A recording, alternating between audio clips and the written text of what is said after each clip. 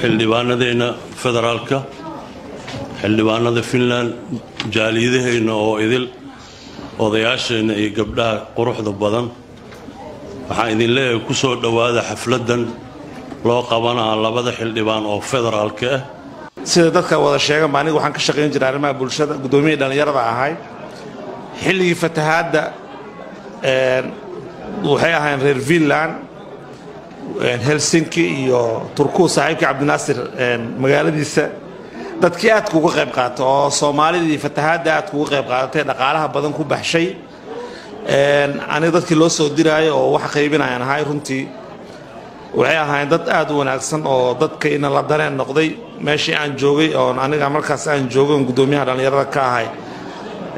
Xanuunka dadka meeshaas ka jiray dadkii dareenka la qaybsaday ee sida wanaagsan ugu soo gurmaday ahaayeen caqabadda ugu weyn ee dowladnimada soomaaliya haysato waa argixisada oo runtii ku habsatay ummadda soomaaliyeed gaar ahaan koonfurta iyo bartamaha soomaaliya haddii intiina badan magaca argixisada ah maqal idinku yahay waxaan rabaa tusaale yar inaad idinka siiya nooca ay yihiin.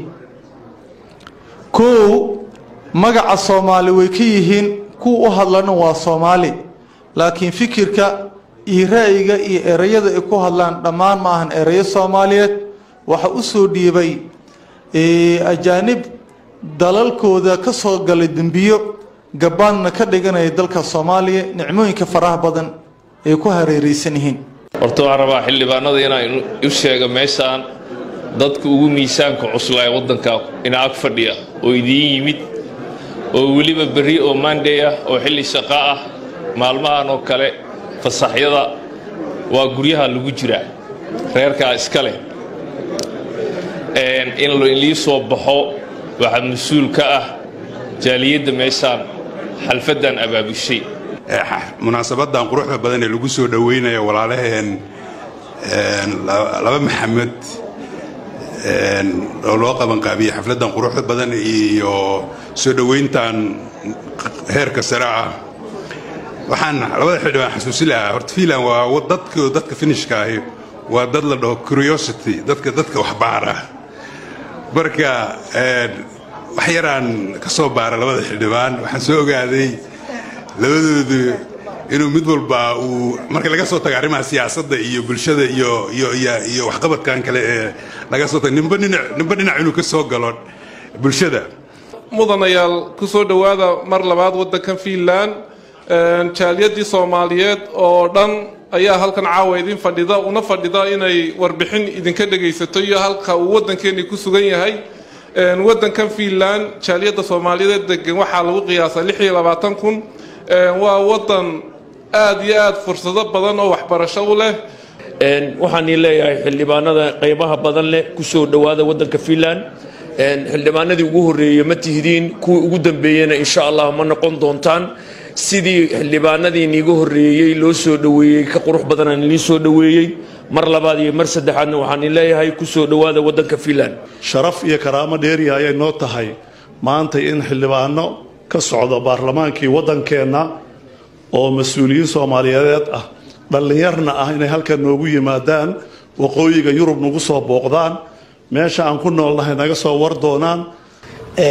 Farxaduuna ii tahay aniga iyo wafdigayga ballaaran in ku dhow laba boqol oo kilomitir u soo baxnay si aan u soo dhoweyno xildhibaanada heer federaal. Wixii tale iyo tusaalan waxaan u malaynayaa bulshada ayaaba horay ugu sii qaarna u sheegtay loona sheegi doonaa u dhiman tahay.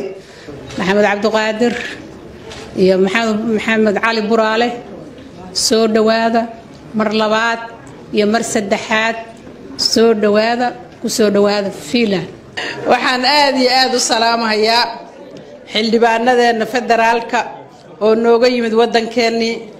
Dhammaan madaxda kaloo la fadhido halkan fadhido. Iyo dhammaan gabdhaha iyo wiilasha soomaaliyeed oo halkan isugu yimid.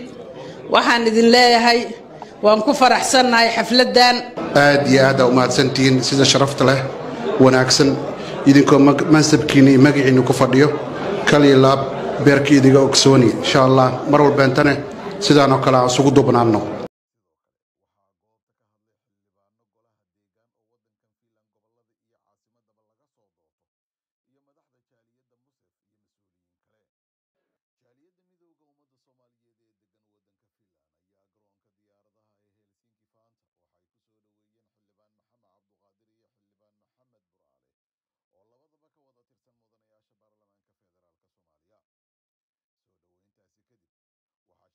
Soomaaliyeed ee degan finland labeentoodii ay isugu yimaadeen hoolka xafladaha ee esbo. Si iyaga iyo xildhibaanada qaran ay isku xog wareystaan islamarkaana xildhibaanada loogu dhiibi lahaa culeysyada haysta jaaliyadda soomaaliyeed ee degan waddankan finland ayagana looga dhagaysan lahaa horumarada isdabajooga ah ay dowladdu samayso. Xildhibaan maxamed buraale ayaa shacabka soomaaliyeed ee finland ku ammaanay sida ay uga qayb qaataan gurmadka marka xaalad adag dalka laga soo sheego. Halka finland u sheegay in dhibaatada keliya ee dalkeena ka jirta ay tahay argagixisada al-shabaab bishaaro bishaaro bishaaro shirkadda isgaarsiinta somtel oo soo kordhisay adeega kaafiya balas kaasoo aad ka heli kartid nus dolar ilaa iyo konton dolar haddaba macamiil ku shuba nus dolar oo hel hal dhibic shan g b oo ay la socoto toddobaatan daqiiqo iyo konton fariin qoraale ku shuba hal dolar oo hel saddex g b oo ay la socoto boqol iyo afartan daqiiqo iyo konton fariin qoraaleed sidoo kale macamiil ku shuba laba dolar oo hel lix g b oo ay la socoto laba boqol iyo siddeetan daqiiqo iyo boqol fariin qoraaleed ku shuba shan dolar oo hel saddex iyo toban g b iyo bar oo ay la socoto lix boqol oo daqiiqo iyo laba boqol oo fariin qoraaleeda sidoo kale macaamiil ku shubo toban dolar oo hel soddon g b oo ay la socoto kun iyo laba boqol oo daqiiqo iyo saddex boqol fariin qoraaleed. Ku shubo labaatan dolar oo hel toddobaatan g b oo ay la socoto laba kun iyo afar boqol oo daqiiqo iyo saddex boqol s m s. Sidoo kale macaamiil ku shubo konton dolar oo hel boqol iyo konton g b oo ay la socoto lix kun oo daqiiqo iyo saddex boqol s m s. Adeega kaafiye blas waxaad ugu shuban kartaa idahab xidig hal eber hal afar geys airtime xidig laba boqol afar geys reseller xidig geys shirkadda isgaarsiinta somtel oo aad ka heli karto internet qiimo jaban tayo sare leh misna laysku haleyn karo